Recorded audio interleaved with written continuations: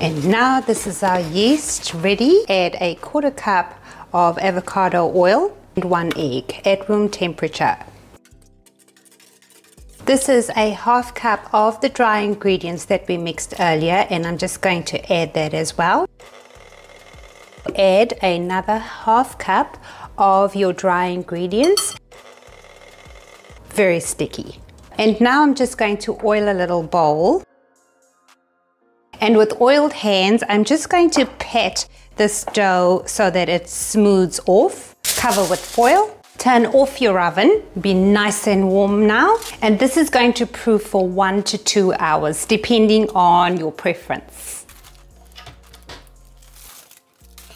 And look how that has grown so much.